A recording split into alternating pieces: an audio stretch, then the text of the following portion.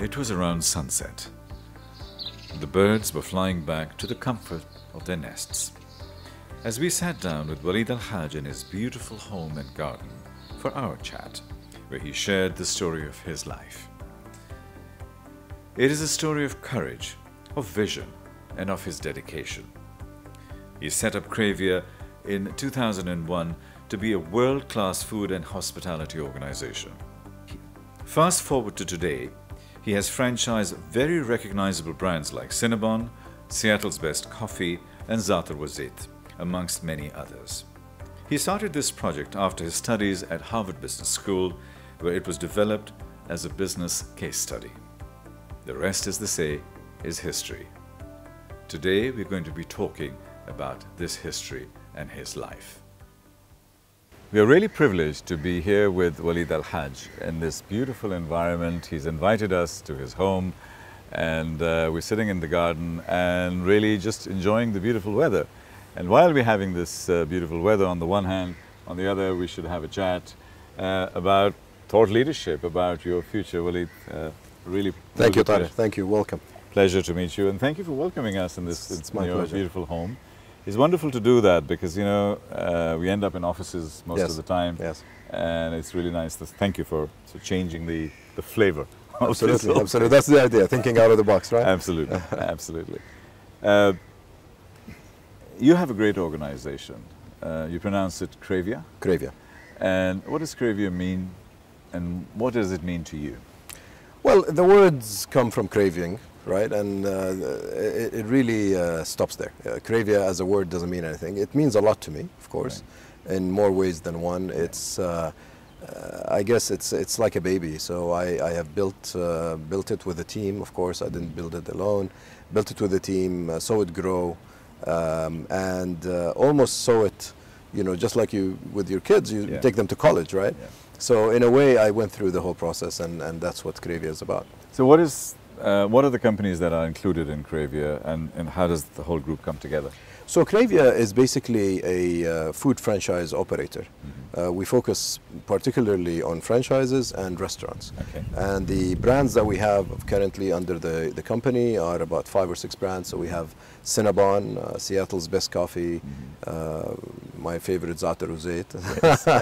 you always have a favorite, right? Yeah, your Um, homegrown uh, products are always uh, Right. I mean, uh, you know, Zaatar wa coming from the Middle East, uh, and also saw it evolve as a brand Yeah. over the over time and helped in evolving it. Um, in addition to Five Guys Burgers uh, from the States and Yeah. Carvel Ice Cream.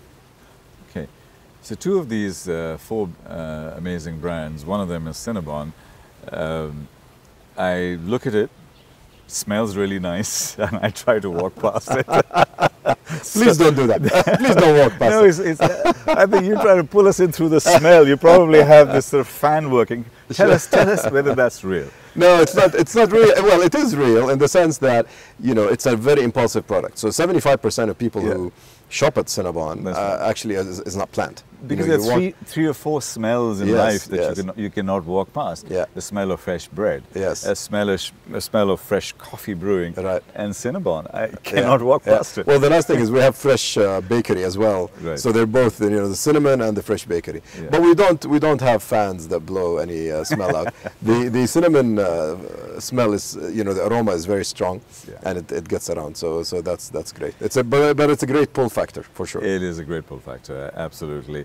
Seattle's Best is something I use almost uh, on a daily basis. Yeah. Uh, the only one thing that I would like you to add on that is almond milk. Okay. Uh, and the reason for that is uh, there are a lot of people Tolerance. now who are lactose intolerant, Sure. like myself. Sure. So, and uh, soya milk is not good for guys, Sure. apparently. Um, so uh, almond milk is the only thing left. You know, noted, noted. I'm going to make sure we, we include it in, uh, in our next uh, product uh, development uh, discussions. Thank you. Uh, but it's an easy one, and I'm yeah, sure we can do it. And, and I love the coffee, uh, so uh, it, it works really well. Yeah. Um, what about the others? What about the Zaatar wa Zeit and, and, and what, were the, what was the thinking behind that? Well, you see, Zaatar wa is a is a Lebanese uh, concept. Right. It started out of Lebanon about 20 years ago. Uh, we took the franchise about 10 years ago. Okay, you didn't create it, you took the franchise. No, we, we, cre- we, you know, I'd like to think that we created it because, to be honest, we, uh, we helped develop it. Right. Uh, when uh, Zaatar Zait came to the UAE, uh, they were a small brand. There were about four or five outlets in Lebanon. So they're not your typical, you know, massive franchise. They're not the McDonald's in Right. any way. So we, you know, with Cravia, uh, Zaatar Zait developed and became what is now really one of the leading uh, brands in casual dining. Um, so it's, it's, a, it's a phenomenal brand the way it, it is today. It has one of the best, I think, uh, product mixes that allows for an all-day kind of dining. So you have, you know, your, your breakfast crowd, you have your lunch, dinner, after hours as well. If, if you know, if you if you're out uh, late at night, uh, this is the best venue after uh, after club hours. Tell us how you differentiate a, a brand. I mean, basically, it's doing shawarmas and saj and whatever. Yeah. yeah. What's different? What's special? Or what differentiates you? Yeah, I always wonder. This is really the million dollar question, right? and if everybody uh, knows or anyone knows the answer to this, they, they crack it. Look, at the end of the day, um, I like to always say that uh, the brand has to be different. Yeah. It cannot be a Me Too brand. And Zaatar wa Zeit is truly that. And, and today, if you look at it, not only here, but even in Lebanon, the amount of competition that it has is very, very few. I mean, there are very few that directly competes with Zaatar wa Zeit. And a lot of people who tried to imitate it and failed. So what is, what is really unique about Zaatar wa Zeit is this ability to get together a traditional Lebanese, you know, menu, mm-hmm. but mix it with sort of a, a modern wrap concept. And this is really what evolved uh, uh, in the brand. And it wasn't like this when we started, obviously. Uh, but in the last five, six years, this has been the brand, and, uh, and this has worked very well. In terms of product development, uh, what sort of things do you do? Focus groups? Do you get? Are you sort of relaxed about uh, developing a product, or is it uh, remain very, very focused? It depends what brand. I'll Okay. tell you a funny story. Five Guys Burgers, for example, who you know believe in focus, and uh, focus for you know is, is really at their core Right. um, uh, core value. Uh, they only sell burgers and fries and hot dogs, but mainly burgers and fries, and they've been that way for over 30 years since they started. Right. When I visited their office uh, in, in in Virginia, um, they said, uh, and I was very new to the brand, so um, the the father, uh, uh, the guy who started it, said, uh, "I want to show you our product development uh, room." And I said, "Wow, great! Let me take a look." And we went uh, to a door that says product development. We opened it, and there's a brick wall behind it. He said, "We don't have any product development. We focus on our products, Yeah. our existing products. We Yeah. make them better every day, Yeah. and we don't want to, you know, sort of uh, get." Uh, uh, I guess um, you know lose focus. Um, so so f- you know it depends on the brand, and that's the beauty of uh, and the difficulty and the challenge of working with a franchise, because as Cravia, you know you're dealing with different franchises. You're dealing with companies that believe in product development, but you're also you know b- uh, dealing with companies that don't, and and and, and look at focus and and continue you know uh, being focused on a small menu. So with Rosait, for example, product development is key. And although a lot of it happens at the franchisor level, a lot of it is actually coming from us. So, you know, I, I don't know if you noticed, but about a year ago we launched tandoori chicken in Rosait, particularly for the uh, Asian community that we have. Uh, we launched kale salad for the health uh, freaks that, that we actually sometimes maybe you know exclude by you know by the menu as it used to be. Uh, so a lot of the, the product development comes in from talking to customers. We do not conduct focus groups. Right. I'm, I'm, I mean, w- there are situations where you need it to understand your brand and understand the direction. But at the end of the day, it really is the interaction with the customer when they're in the restaurant, which means talking to you know your waiters, talking to your managers, and actually being there to talk to uh, the end consumers themselves. In the inimitable style of Hollywood and Bollywood and Lollywood, whichever way you want to look at it, uh, let's do a flashback to your early stage of your life. Right. Uh, where did you grow up? So I was born and uh, grew up in Saudi Arabia, Right. in a small city called Al Khobar, Saudi Arabia. I know Al-Khabar. Uh, so Khobar is one of the smallest cities in Saudi Arabia. And I I have to tell you, I mean, I know you're doing a flashback, but I want to tell you again a little bit of a, a proud story that I always like to say. So we opened uh, Five Guys in Al Khobar about eight months ago. Right. And this was the second store we opened in Saudi Arabia after Riyadh. Um, and again, I mean, we opened it because there was an opportunity, we got a good site. But uh, not in my wildest dreams did I think that actually Al Khobar will turn out to be the number one store in the world. So imagine, I mean, you know, they have this, my home city, my hometown. It's a small town. It's not Riyadh, it's not Jeddah, it's not Medina, it's not Mecca, Yeah. uh, yet performing very well. But yes, I grew up in Saudi Arabia. I grew up in Al Khobar, went to school there, went to university there, uh, and then worked for uh, uh, Procter and Gamble in Jeddah in Saudi Arabia for a couple of years, and then moved on to do my MBA at uh, in the States at Harvard, Okay. and then came back to the family business. And the family business in Saudi is also in food, but not in restaurants. Okay. So my father established a, a food business uh, that deals with distribution, manufacturing, logistics. Mhm. So I sort of took over um, with my brother when I came back from college, uh, well, from masters in 1995. Mhm. Um, a few years later, we had the opportunity to expand into the UAE. And, uh, you know, I mean, at that time, I thought to myself, wow, you know, that was 99. I said, wow, the UAE is a, is a great place. I want to, you know, have a piece of it. And, you know, I wondered if it had reached its maximum, Mm. imagine, at, in 99. So, uh, so we moved, uh, we got the business. The Cinnabon franchise was the first one we acquired. Okay. Uh, and little did I know that the UAE and Dubai in particular were just getting started. So, as a youngster, were you a naughty child? Were you a problem child, or were you well behaved? Well, I don't know You about problem well-behaved. child. I don't know about problem child. I think I was well behaved, but I was, I was not, I was not your your calm child.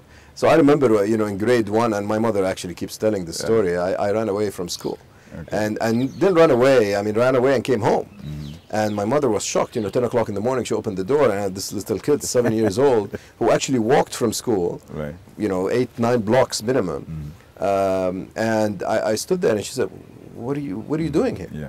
And I said, "Mom, you know, they're not teaching us anything new." Yeah. Um, so I, I, th- I guess I was naughty. I'll, I'll confess, but uh, but uh, but I had I had a good childhood. I think uh, you know uh, we grew up in a very close family. Um, I learned a lot from my father. Mhm. Uh, I guess you know if you talk about entrepreneurship, I, I, to me he's the ultimate un- uh, entrepreneur.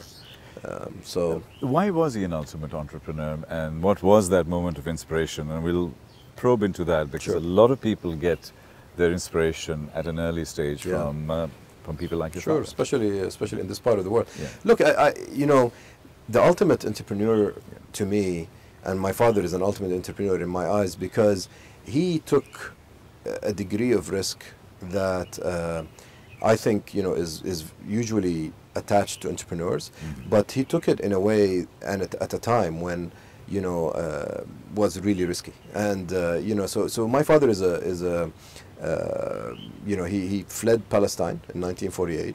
He's a refugee, was a refugee in Lebanon for a while, and then moved to Saudi Arabia. And then when he came to Saudi Arabia, worked with a company as an employee for a few years, and then decided, you know, I have the savings, I'm going to put it all in this business. And you know, every time he tells me the story, I freak out. I freak out. Yeah. And and he said, you know, um, he said that when he decided to do that, Yeah. he he remember you know taking everything buying stocks with it you know products and in his new office he said that in the evening i thought about my mother who i supported my father my two brothers who were studying in college he's the eldest child and then my five kids and my wife and uh, he said i broke down. I put my arms and i started crying and nobody saw him. But he said that that ultimate moment to him, to him that moment ultimately decided you know that he has to make it work. Yeah. and and to me that's a, a true inspiration because you know being challenged and having this difficulty and and deciding you know what? It's gonna work. I love it. I know it's gonna work. And uh, you know make it work is is really something It's the metaphor of burning your boats when uh, Yeah. my, my namesake Tariq bin landed Yeah, in sure. Spain. It's, you know, it's victory have no or choice. death. You have no choice. You There's no only choice. one way forward. Did that define you and does that shape your business success because you have this inner belief that I can't go back. Yeah. There's only one way. Yeah, I think so, and I think the risk taking uh, definitely comes from my father and from because I grew up with the business. I mean, the business is almost, uh, I would say, you know, I'm 10 years older than my father's business when he started. So when he started the business, I was maybe 10 years old.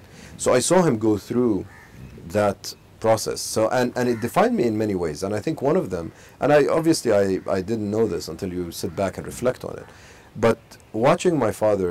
Um, you know, put everything that he has, not money, but everything that he has in terms of effort, into the business. My mother, even, you know, he brings his business home. Absolutely. And he discusses it with us. Yeah. So it became sort of entrenched in me. On the weekends and holidays, I used to go to his office, send telexes at the time, if, you, Yeah. if you're old enough to remember what a telex is. Just about. Um, so, so I grew up in the business, and I, I sort of got fed that kind of uh, that kind of uh, food, You basically. know, you know, Palestine impresses and fascinates me uh, a lot because when you look at Palestine in 1948 and many other countries, but everybody there was an entrepreneur. You were a fisherman, you go and get some fish and you Yeah. sell. You're a carpenter, you're Sure. an entrepreneur. Sure. You're working in the field, you're an entrepreneur. Sure. So entrepreneurship was in their blood. And your father's generation was a generation that built the platform Yeah, to enable you to thrive. absolutely. And that generation is the golden generation, my father's generation, your father's generation. Sure. My father uh, emigrated from India in to Pakistan in Mhm. 1947. Mhm. And uh, Almost at the same time. It's exactly almost the same time. It was uh, August 47. And, uh, and that refugee mentality of success at all costs becomes an integral part of our DNA. And they spend their next 20 years building us. Absolutely. And I think Absolutely. that, to me, is my defining moment, is that there's only one way, and then our Sure. parents have sacrificed, Sure, and so now we build. sure. Um, do you have children?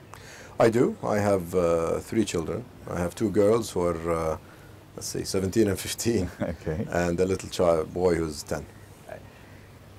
How, in, as a father, um, how do you see them evolving in this new era? Yeah, Um, because when you grew up, you grew up with some a little bit of hardship. sure. Now you have, they have much less hardship. Yeah, I worry So this about is your blessing. I was going to say, Yeah. you grew up as entitled kids. Yeah, And, yeah. and I, when I interview billionaires and, and stuff, I said, uh, you know, everybody admires you, but we also look at what are your problems. Yeah. And one of them is children. Sure. So how do you imbue the same intensity and the same quality and values that you came from Yeah. within you Yeah. into your children, into your family? Look, uh, uh, honestly, it's uh, it's one of the most difficult jobs that you can you can get. Uh, being a parent, especially with this kind of uh, you know privileges that you have, and, and again, we're lucky. And I tell my kids that you know I wake up every morning, you know, praying and thanking God for all His blessings, and so should you. Yeah. You know, uh, because uh, they you know they, they they are lucky to be where they are. They're lucky to have what they have, and they're lucky to have the opportunities that we're able to provide them with uh, honestly, we do a lot of things. We're very conscious about raising the kids. Mm-hmm. So what we try to do is we try to get this money element out of the picture. Mm-hmm. And by out of the picture, I mean, so our kids don't know what our financials are. They don't know, mm-hmm. you know, how much money we're making. Yeah, obviously, as they grow older, they look at the, around, they, they realize few things. But for example, they have a, a, a weekly allowance that we are very strict with. Um, every once in a while, my, my eldest daughter, for example, is very much into, uh, you know, helping the refugees in particular. And I don't know whether that's related to her grandfather being a refugee. And I'm sure, you know, he's. he- yeah, I mean, he, you know, my father, when we sit with him, especially with the grandkids, uh, you know, all he talks about is Palestine and how he fled Palestine and how the, you know, the bombings and how his cousin got injured and he put him in his, you know, carried him on his shoulder and took him. So I'm sure that has some kind of an effect. But going back to the children, I mean, Yasmin, my eldest daughter, I'm, I'm really proud of her in that way. She's, she's a very um, sort of, you know, this, this refugee is very refugee cause is very c- close to her heart. So she's been to Zaatari camp in Jordan. Uh, she's been, uh, even she went to Guatemala, helped kids in, uh, in, in, in need, uh, built schools, built bathrooms in Africa. So we try to show them that, you know, the bubble, if you will, if you want to call it that way, that we're living in Yeah. um, is is you know is not the rule, and uh, you know I hope they never go, have to go through that. But at the end of the day, there is a risk that all this can disappear in one day, and you have to be able to to, to live Yeah. and support yourself and, and, and build yourself that way. So it's honestly it's a very very difficult job. Yeah. Uh, I think parents have to be aware of it, and I think Maha and I, Maha, my wife and I, are very aware of it, and we try to do the best we can. We'll Mm. see if, uh, if we're successful or No, not. inshallah. I Inshallah. think all of these basics that you've mentioned, uh, the core values are there. Yeah, The rest, they will have their own wings and they will fly. sure. Um, Sure. Coming back to your business and, and your early days, Yeah. and you said you were an entrepreneur and you took risks.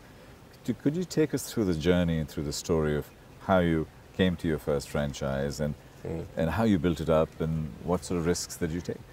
So the, the risks I took are, um, you know, this breaking away from this comfort zone.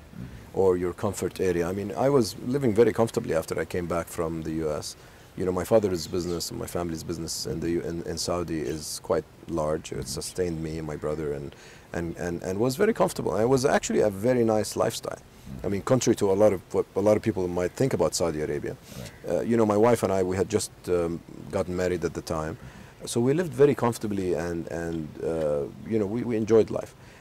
I think the the main risk. I mean, I didn't take as big a financial risk as my father did. I didn't put everything I had in, in one basket and wished for the best. Uh, but I, I think what I've done is, I wanted to, you know, I pulled my, if, if you will, pulled the roots out, uh, and said, you know what, uh, I love the business that I'm in. I love my life, but I want something different. I want to feel that I've created something, and this is really the drive that drives me. It's not money, and it's not uh, recognition. Uh, I mean, yes, sense of achievement in a, in a long way, in a big way, to, to see and to ensure that you see something that grows and, and you, that you helped grow is a big thing. But taking, taking that uh, tree, pulling it out of the roots and trying to plant it somewhere else was a big thing for me. And um, a lot of people discouraged me to do it. A lot of people said you're crazy to do that. I mean, you know, you, who, who could wish for better? Sure. But to be honest, in retrospect, it's the best thing I've ever done in my life. Starting a business, moving to Dubai, and, and, and you know, starting all over again. All right. Any early failures, any early challenges that you'd like to share that uh, would inspire people? Yeah, look, I mean, I think um, I'm proud of our failures as a business, uh, just as I'm proud of our successes. And I tell people and I tell our team that, you know, um, don't be don't be afraid of taking risks because what's the worst that can happen? You can fail. It's all right. You know, I'm and I'm your boss and I'm telling you it's all right. Right. Uh, but um, so we, we launched a brand. I mean, one of the things I can tell you, we launched a brand called Roadster Diner in 2008, 2009. Uh, at that time, we had two, three, two brands, Zaatar wa Zeit and Cinnabon. But uh, we launched Roadster, which is also an, a Lebanese brand, but it's a, it's a diner concept. Uh, failed miserably. Failed miserably. And, you know, until today, if you ask me why, I, would, I wouldn't know. I wouldn't know. Yeah. So, you know, everything said it was going to succeed. It was the leading, uh, you know, diner in Lebanon, beats, you know, the, the international names. And yet, when we opened, actually, the line was out the door. Uh, but then something went wrong. Uh, whether it's quality, whether it's consistency, whether it's the time. Also, it was the time of Yeah, the crisis. uh, this, the, the crisis at the time. But whatever it is, uh, the, the amount of learning that we got out of that was, was tremendous. Right. Now, as you were building your businesses, uh, what sort of uh, methodologies, discipline, uh, the, the kind of technical stuff that we need to be aware of in a franchising business? Yeah. Because a lot of people get quite seduced by franchises. Yeah. They think it's simple. Yeah, no, it's it? not. It's not at all. and why not? Well, I'll tell you because, so the beauty about franchising is that it's a packaged, tried out concepts, right? Yeah. It has worked somewhere. Yeah. Uh, otherwise, it wouldn't be a franchise to begin with. Yeah. Most of the cases, anyway. Um, but taking that and applying it in a different market, different environment, with different people, may or may not work. Right. So to us, the way we, we uh, evaluate franchises and the way we decide to choose franchises, I would say is 20% technical and 80% gut feel. Okay. And the 20% technical has to do with the companies that we're dealing with. Are they ready to go international? How is their supply chain? Is this something that will appeal to the local market? And the, and the bulk of it is really, you know, people feeling. And what I do is I try the product, I love it. If I like the concept, I try to close my eyes and imagine it in our markets and see how that goes. Mm-hmm. And then I encourage our team, you know, our CEO, our COO, our operation people, even our, our store managers, you know, and, and we pay them to go actually on a trip if, the, if need be. You know, just go and, and try it as a customer, tell me what you think. And you'll be amazed by the amount of feedback um, and, and insight you get from that. It's, franchising has always seemed to me to be a very process driven and operationally intense business. Yes. Would I be right in thinking that? Absolutely. And is that your core energy that is derived from that, or is it something more? I, I think uh, there are two things that drive me as far as the franchising business, and I'm talking about me personally, which I think has sort of cascaded down to the to the company. Number one, we believe in brands. So the idea of, you know, we're getting a franchise so that tomorrow we can make a big buck and turn around is not in our books. Right. You believe in brands means you invest in the brand. Rosette, and I'll, you know, maybe this is a, a company secret, but I'll share it with you, was losing money for the first three and a half, four years. Although we were very successful on the commercial side. I mean, the Right. stores are full, but we're losing money. The business model didn't work. Right. Yet we continue to be fully invested and vested in, in the brand Right. because we believe in the potential. And today it's one of our best brands. So the idea of, um, of believing in brand is, is very big. That's number one. Number two, operational excellence is actually in our vision statement and in our core values. So when we execute, we don't care how much it's going to cost. We're going to execute to the best that's possible. And that reflects in the quality of the product, the service, the, the overall experience. And this is how you differentiate yourself. And all you have to do is walk around in Dubai Mall or on Tahliya Road in Riyadh today and look around you as far as how many competitors you have. And if you don't distinguish yourself Yeah. by executing, you know, the best way, you won't, people won't come to your door. Yes, I think, uh, and and experiences are from there. Now, um, in terms of people, uh, what kind of people are you looking for? What's that special DNA, that special secret sauce that you're looking for? So I'll tell you, we, we in our business they say the success is about location, location, location, Yes. right?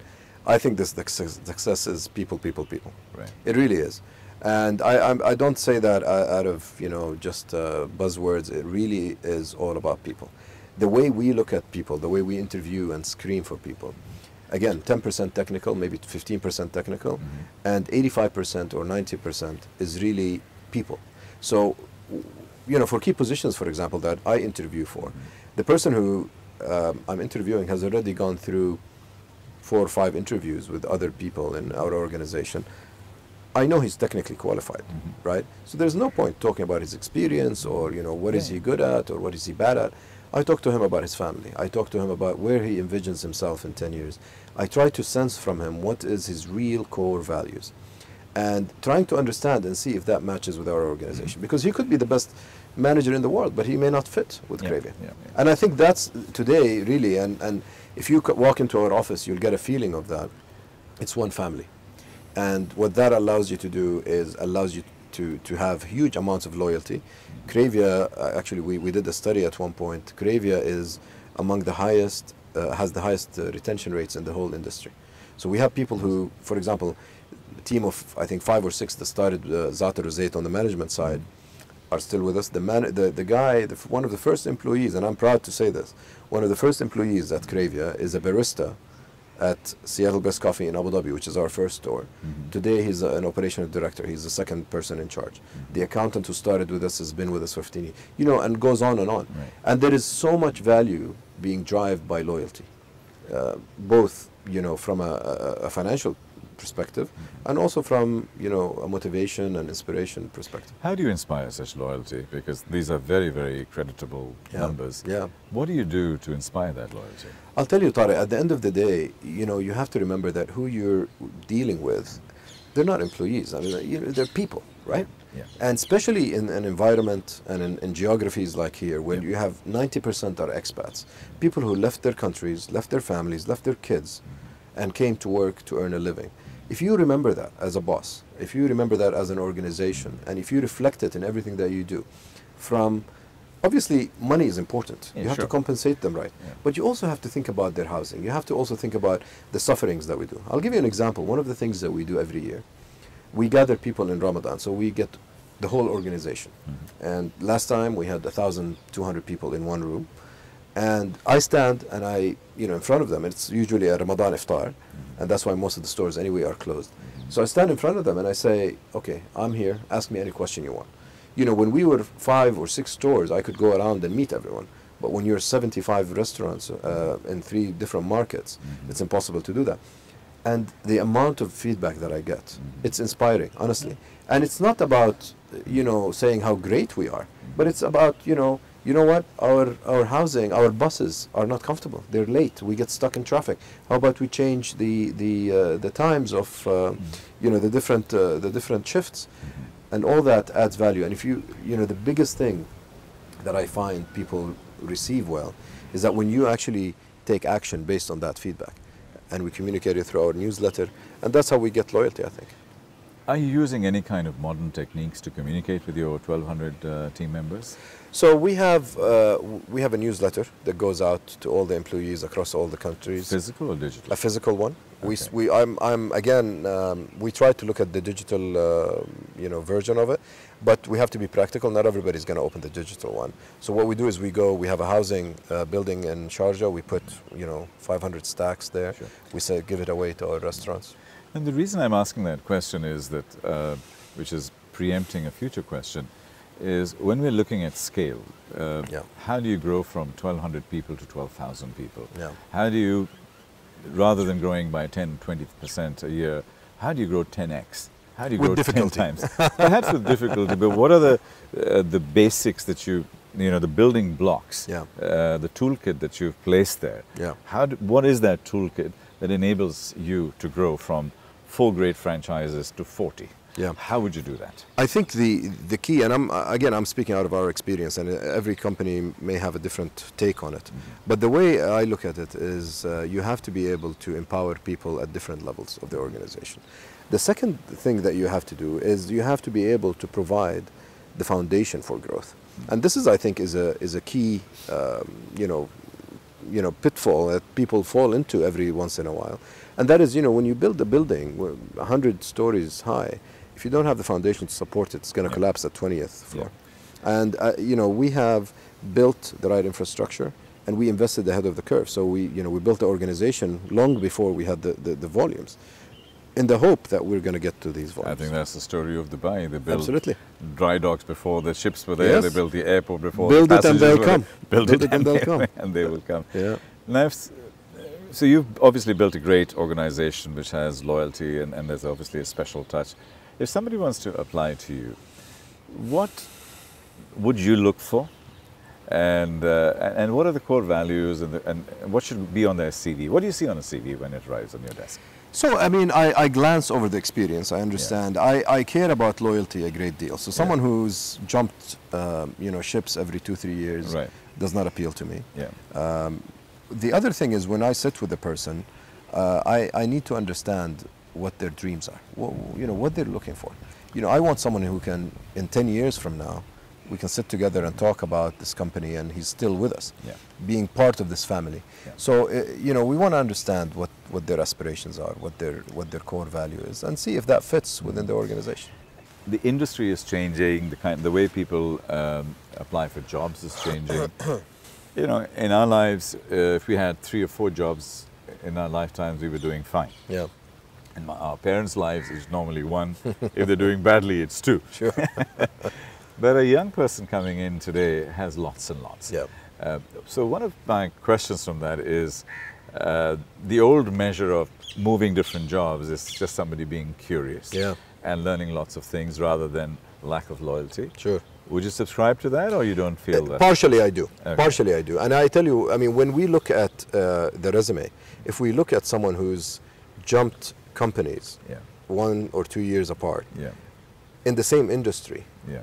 you know, I'd raise a question mark. Right. Because uh, it means that they want to be in the industry, but they're just trying out, or maybe Yeah. they're not, you know, successful in certain setups.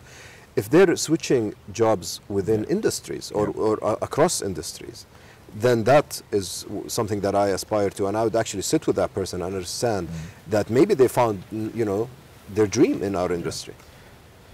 There's a Yale professor who came up with what he called a reverse CV, a flip CV, Mhm. which is he wrote about his entire list of all his failures in his life Mhm. and what he learned from them. Mhm. And uh, the things that he that. missed, the things he didn't do, uh, but each one of them was a learning experience. Yeah. If that CV arrived on you, uh, on your desk, what would you do? I would uh, I would call the guy for an interview immediately because somebody who's who looks at Yeah. a job, at a career that way, Yeah. is the right way. I think it's all about trying. It's Yeah. all about taking risks, and if there are no failures, I think there's something wrong in, in that formula. What's next? Um, you've built the platform, you've got the baseline there. Yeah. How do you grow from here? And what wakes you up in the in the morning and says, you know, to jump out of bed and say, "Here's another day. I'm going to go out there and do something fresh."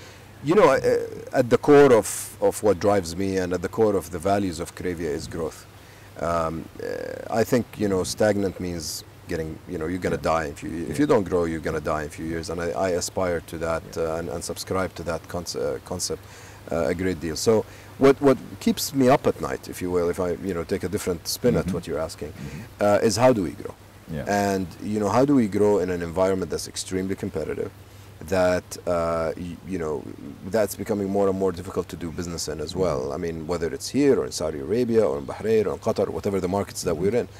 And you know, at the end of the day, how do we grow is, depends on, I believe, truly, at the people that you have in place. Mm-hmm. And what I try to focus on as we grow bigger is my ability to try to spot opportunities, mm-hmm. spot new brands, even create our own brands at one mm-hmm. point, and being able to, to, to get that and then you know try to take it and run with it. Uh, you know, uh, uh, we growing actually. I think growing from scratch to where we are today is much easier than growing from where we are today to where we aspire to be. Right. And I think uh, I think that's going to be the next challenge.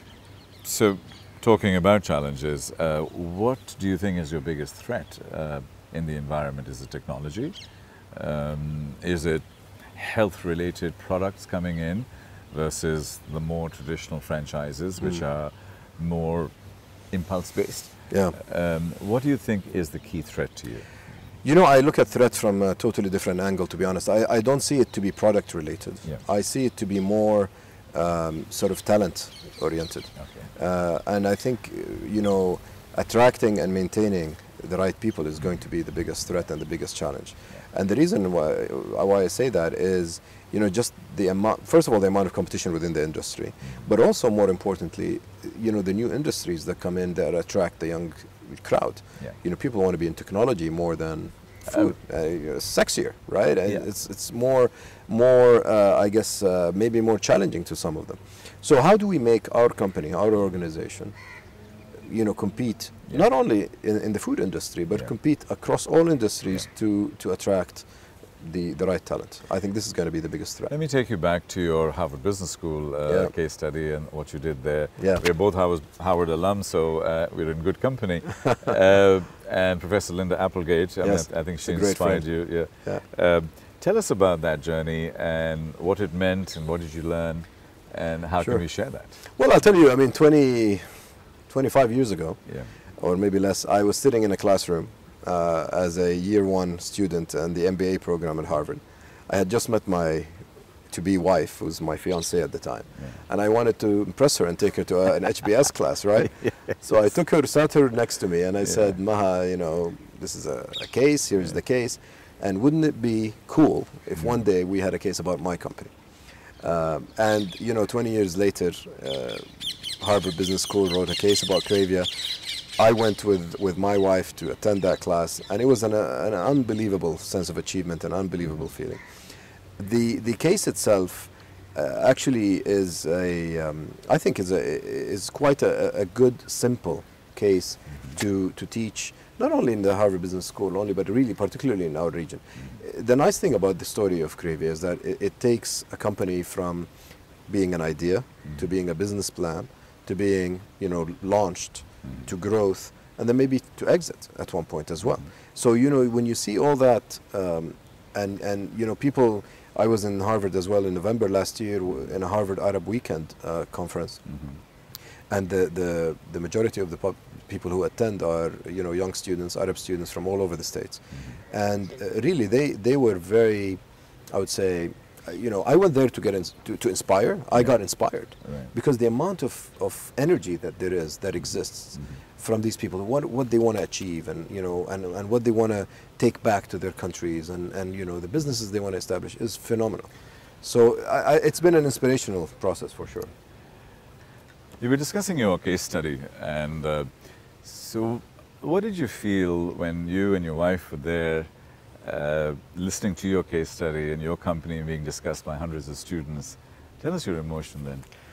I'll tell you, I mean, uh, talking about it right now gives me goosebumps. I was going to say maybe Yeah, tears. well, yeah, I'll, I'll hold myself, but um, it was very emotional. It was extremely emotional. You have no idea how, you know, um, you know, the sense of pride that you have when you're sitting among a hundred bright students, right? You're talking about Harvard, the brightest of the bright, who are talking about your company, because in the you know in the initial stage of Yeah. the class, you sit back, and you, they discuss the case. They talk about the company, what you did right, what you did wrong and um, you know I I was really overwhelmed by the by the emotions. I mean, you know, the value that I got out of there was also interesting. I mean, there were a lot of ideas that came, you know, bounced right, left, and center. But at the end of the day, the emotion and and that satisfaction and that feeling of achievement was was phenomenal.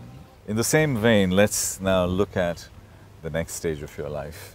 Uh, let's visualize that today is your 90th birthday. We've come here to E173 and we're celebrating your birthday. Right. What will we be saying? What have we achieved? what, what will your daughters be doing? First, first I'll be grateful I'm alive.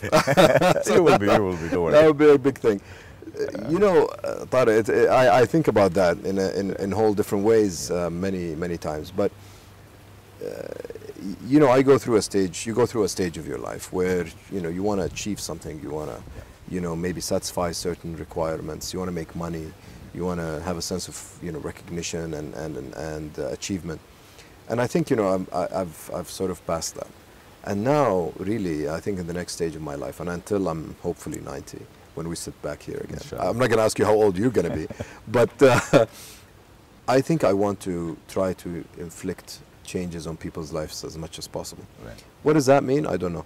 And I, you know, I hope that we can sit here uh, in, in, in whatever, 60, 70 years from now, Mhm. or less, 50 years than now, and, um, and, and say, you know what, uh, we, we have a, a deep sense of satisfaction that we tried to uh, and changed people's lives as much as possible. And a big thing to me, and, and that's one of the th- things, you know, I change, I try to change people's lives in, is to try to bring up kids Mhm. that are able to carry that forward, that have the same sense of value, that are uh, good, you know, global citizens. Mhm. Um, uh, it's going to be, you know, life gets tougher every every year, Mhm. and you you think about raising kids in particular. Uh, and I think this would be, if you ask me if there's one legacy I'd like to leave behind, it's really my kids. I understand. Uh, so I hope they'll they'll be the one who will be sitting with us and telling you more. Do you think that you have the courage, the inner courage to reinvent yourself completely? And I will go even further. Do you have the courage to reinvent yourself every decade for the next three or four decades? Yeah, I, I actually cannot live uh, stagnant. I like to always look at the mirror, see what's missing, um, come up with a new challenge, uh, whatever that is. I mean, it could be personal, it could be business. Sure. And what could those reinventions be to yourself? How Yeah. would you redefine yourself? Would you come back as a teacher? Yeah. Uh, so, say the next decade as a teacher? Would it, the next decade be, um, I don't know, as a philanthropist? Yeah. Could the next decade be as an artist? Could the next decade be, you know, the, the reason I say that is that because you reach that inflection point, you can either cruise or you can take off. You know, Tare, I think you chose the worst time for this interview because I, I don't know. I'm going through that thinking process right now. Which is good. Actually, at least you're Yeah. reflecting. And, Yes. and so, what are the thoughts that are coming? Because your journey is everybody's story. My story, your Yeah. story is how how do we define ourselves? Yeah. It's not a not looking for crisp answer. I'm actually looking for sharing your thoughts and emotions. Sure. So I'll tell you, my thoughts on this is i the beauty about all this is the adventure. Mm-hmm. And, and part of the adventure is not knowing what you, you're going to embark into Yeah. next. There's definitely going to be a new journey. I, you, know, uh, you know, I sold a big chunk of my company recently. And I've decided for the next few months, you know, I'm not going to decide on anything. Mhm. Um, and maybe for the next year, I'm going to give this a huge amount of thought. I'm going to talk to a lot of people because I'd like to be also inspired and, and think about. But at the end of the day, really what matters to me the most is that I'm happy. I wake up every morning. Sure. You know, the, the beauty about Cravia and the reason Yeah. I think why we're all successful in Cravia is that every day I wake up looking forward to going to the office and, you know, dealing with the challenges, traveling, getting new stores open, getting new markets open. I don't want to lose that fire. And I think whatever is going to be the new, you know, diesel or the new fuel to my fire, Yeah. uh, whatever it is, I still need it. Otherwise, Because this you know, fire just- becomes like an injection. It's addictive. It's addictive. It's that's, extremely that's, addictive. That's what I mean. And and and one of the, the, the and, and I'm going through th- that journey myself Yeah. right now and redefining myself. At this stage, I'm doing completely crazy things. Yeah. My company's called Mad. I mean, how much crazy can I be than that? very, very appropriate name, right? exactly. So, and I'm thinking to myself, what are the two or three ingredients that I need to put into my my my my, my casserole that I'm building for the rest of my life? Yeah. And for me personally, and I'll share my emotion on this, my number one is courage. Mm. To have the courage to, to change, to take things on your chin and whatever. Second is versatility. Mm. And third is humility. Yep.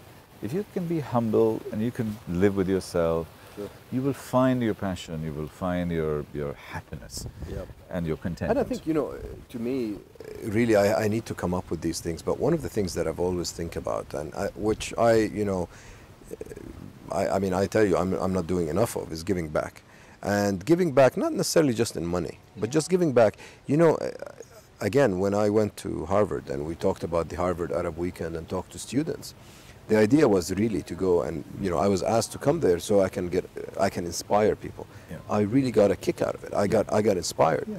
Looking at these youngsters, you know, I tell you a story. A, a guy walks to me, and it was this is the funniest story. So we were sitting in this class talking about the case, and then you know there were questions, but at the end, a lot of people walked to me and tried to ask me question.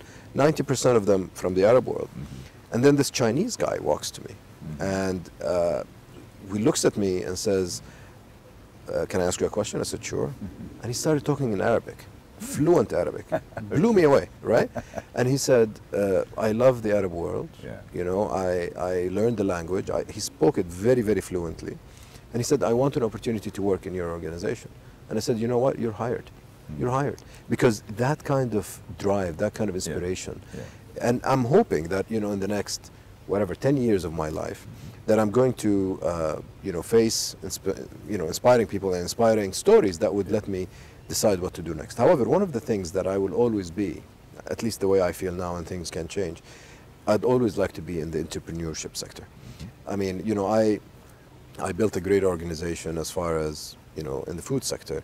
Um, I don't know if I'm going to go into operations again or build new organizations, but to start something new, to see something flourish from being, you know, a startup all the way to a being a proper organization would be a dream. I mean, maybe it would be act number two, but it will be in a, in a different setting and a new adventure, so to speak. A new adventure is almost when you are just a little bit scared. Yeah. When you do that, Yeah. you need. I don't want to be too comfortable. exactly. I don't want to be too comfortable for sure, for sure. Yeah. I think I, you know, uh, again, comfort is such, uh, you know, such a nice thing to have, and, and obviously a blessing. But again, I think what keeps me running and keeps that fuel going is the adventure. What advice do you give to young people in terms of what they should do to emulate you and be inspired by you in terms of leadership? You know what? What I've done is not unique to me, and, and there are so many stories, especially in the Middle East and the Arab stories, and we talked about it. They're not, you know, they're not out there, but there are so many uh, stories. One of the things that I always tell people who are looking to establishing their businesses and who are looking to being, uh, you know, in the entrepreneurship sector, be be driven by your passion. Yeah. If you wake up every morning loving what you're doing, I guarantee you, whatever it is, if it's cleaning the streets or cleaning cars or selling technology or selling food, at the end of the day, if you love what you're doing, you're going to be so successful in it. And being persistent. You know, I mean, a lot of people today, um, you know, obviously chase a dream and try out and they're being curious and looking at many things. But just, you know, if something is failing, you try again, you try over and over again until you get it. And one of the things, by the way, when I was a- young kid and you were asking me if I was naughty or not, one of the things that always used to be told to me is that I'm stubborn. and it was, it was given to me as a negative, by the way. Yes. ab- But it is, it's, it's probably one of the most positive things a person can have, and you can look at it in a different way. Indeed. You know, not giving up, staying persistent, and, and staying stubborn is, is key. Yeah. Stubborn about vision, stubborn about achievement, Yes, exactly. and and, uh, And, and yeah, flexible on execution. flexible on execution. yep. Absolutely. Uh, what advice would you give to your 25-year-old self, yourself? Well, I would, um, I would, I would take more risks earlier, Even more? even more, even more. I took, I took, uh, you know, this risk of coming here and establishing Cravia when I was uh, 35 or 34. Right. I would have taken it mm, uh, fresh out of college. I interviewed a guy uh, who's now a billionaire, and he left school when he was 16. Mhm. And I asked, "What was your biggest regret?" He said, "I wish I had left school earlier." so he is completely raw. He's from Africa. Yes, He's from yes. Rwanda, and uh, he's completely raw. And and and that is has a, that naivety, Sure. that energy is, is is quite amazing. What advice do you give to to employers, uh, people who are now because this region needs jobs? Yeah. yeah. Um, what advice, you as an employer, and what advice would you give to employers in terms of the nature of people that you can hire and how to empower a whole new generation? Because there is a lot of people are losing a little bit of hope, Yeah. and we need to energize them back Yeah, again? I think the, the key of uh, the point about empowerment is extremely important. You know, I find people hiring uh, employees for the sake of doing a job Yeah. rather than really building a business and growing a business and so on. And I think this lacks. The other thing that I, you know, as an organization, I think Cravia has, which is very unique in this region, is this focus on corporate culture and the ability to create a, a, a, a harmonious culture among, you know, 1,700, 2,000 people that can bring them together and keep them together. I think this is, these two things are very important. Um, they give the sense for the employee, for the new, you know, graduate or, or whatever it is, a sense of belonging. And I think that's something that's not uh, available and lacking in many organizations. Is there anything that I uh, have missed? Would you like to share? Would you like to add? Because I may not have asked you that question. Uh, no, I think the only thing I would add is this value of family, and I, I believe strongly in, in the family values that I was brought up with, that I also try to instill in my kids, and that usually, you know, uh, goes unnoticed. But to me, uh, it was a huge support, uh, you know, system. Uh, I think without my wife, my, my parents, my kids even, I don't think I'll be where I am professionally. Uh, so I think you know finding the right support system, whatever that is, Right. is extremely important for the entrepreneur. We are here with uh, Walid Al Hajj, who is a wonderful family man, and he's spoken about the culture and the values there. He's built a great organization. He has the most loyal team you can ever find. And uh, he's at that stage and that inflection point in his life where he can take off. And he has wonderful plans for the next 40, 50 years until his 90th birthday. So we've done a lot of things and we've shared a lot of things. But I think the most important thing is that he has been authentic, he's been real, and he's helped to work with you and inspire you. And I hope you found his stories interesting and fun. Walid, real Thank you, pleasure. Thank Pleasure. Thank you Thank very you. much indeed.